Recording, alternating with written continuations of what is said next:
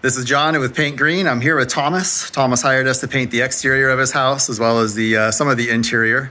Uh, Thomas, did we uh, fulfill all the promises that we made? They did everything that I wanted done. Great. Uh, how was your experience with us? They did a great job. Awesome. Thank you. I love to hear that.